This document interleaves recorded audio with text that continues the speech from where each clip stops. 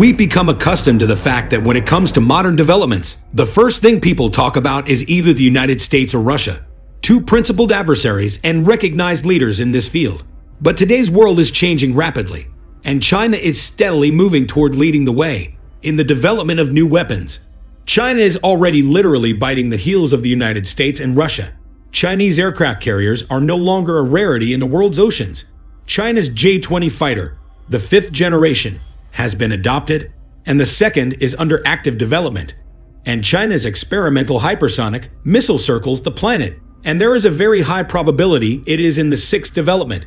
China's sixth generation fighter will eventually overtake the US and Russia and become the leader not only in the economy, but also in armaments. In this video, we will tell you what is currently known about China's sixth generation of fighters.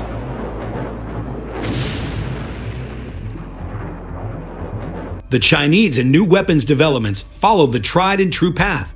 They buy or steal other people's property. The development of studying and using them to create their own gradually increasing samples. For example, Chinese aircraft builders previously improved the Russian Su-27 and made their own J-15. And now they have a modern Russian Su-35 at their disposal. As a result, they have the J-20 and based on that they started to create a sixth-generation fighter. In 2021, at the China Air Show, they presented the first concept of a sixth-generation fighter from a Chinese aviation industry company. The concept is very similar to the sixth-generation fighter concepts we've seen before, such as Europeans or Americans. The Chinese engine design has two engines and a cockpit, in other words, like American and European developers. The Chinese have not abandoned the concept of human-piloted aircraft. The guns are housed inside the fuselage for subtlety and to avoid being detected by radar. This small wingspan led to the conclusion that Chinese planes would fly at very high speeds, if there is no area for lift, then it must be compensated for with speed. However, half a year later, in March this year, China demonstrated a completely different new concept. The first, the shape and wingspan changed to be bigger and moved to the tail of the plane. Most importantly, you can see in the image that the fighter doesn't have a cockpit. This indicates that the fighter will be completely unmanned. This means that China is confident that they will be able to develop artificial intelligence to control fighter planes very soon. Currently, no technical details are known about this aircraft. The fighter of that generation displayed a glider very similar to the one officially displayed by China in March this year. Again, we see a flying wing or tailless glider with diamond-shaped wings and a prominent fuselage shape visible. The glider demonstrates an attempt to combine the aircraft's high flight performance and stealth technology. This type can be supersonic and reach quite high speeds at the same time. The range of confident detection and tracking by existing means will be reduced, according to U.S. intelligence. The Chinese project involving the use of advanced radio-electronic equipment is planned to use a complex of sophisticated environmental lighting equipment, perhaps with the implementation of new design ideas. Also, the aircraft had to get computer complex improvements, including artificial intelligence. It is known that China is developing a heavy UAV capable of carrying advanced avionics and various weapons, such as drones, likely belonging to the Loyal Wingman class. The new modification of the existing J-20 aircraft can be used as a lead for this drone, just as the Russians did when they developed the Su-70 Hunter drone for their fifth-generation Su-57 fighter. However, the plane can also be used as a hint of sixth-generation fighters. Now for the time when China plans to take their new fighters into the skies. Today, China has succeeded in building a large fleet of the fourth generation of fighters. They have also launched full-scale production of fifth-generation fighters, while developing a new generation fighter that mimics the Americans, just like them.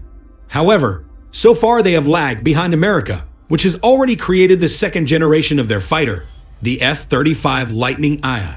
In this regard, it is worth recalling an interview with the chief designer of the Chengdu Aerospace Corporation, Wang Haifeng, published in the Chinese media in early 2019. He revealed some of the features of the work on the J-20 aircraft, also spoke for the first time about the development of a new design according to the chief designer of Chengdu Aerospace.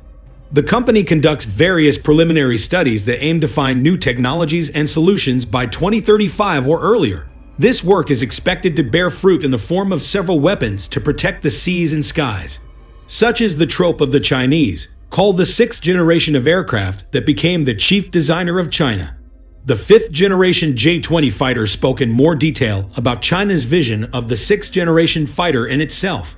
An interview with the state owned CCTV news agency in August this year commented on China's technical standards. Furthermore, the noted fighter jet is the key. That is the point of the sixth generation engine. Must be intelligent coding. The airframe must be able to automatically recover and have the appropriate built in. Sensors other than engines must have characteristics that allow them not only to take off or land at conventional airports, but also to carry out space or suborbital bombing. The mission is to carry out combat operations both in the air and in outer space. So, who will be the first to cross the finish line in creating all six generations of the American warrior? Russia or China? Recall that on September 14, 2020, the Pentagon announced the successful full-scale flight testing of the sixth-generation demonstrator. The fighter seems like the clear leader is the U.S. again, but according to a leading American defense news publication, the fighter's new defense technology was developed in about a year. This was a very short time. By modern standards, for example, Lockheed Martin built the X-35 demonstrator as part of its four-year fifth-generation F-35 fighter jet program. Therefore, even the Americans pulled the dust in their eyes made them nervous Russian and Chinese strategic components, or something tested by no means can be called complete. The sixth generation fighter is even more so that the American creation program of the next sixth generation fighter, Air Domination Generation, abbreviated as NGAD, is a whole family of related systems for air combat, with not only fighters but also satellite drones in space and platforms in cyberspace, which is why they are sometimes referred to as systems.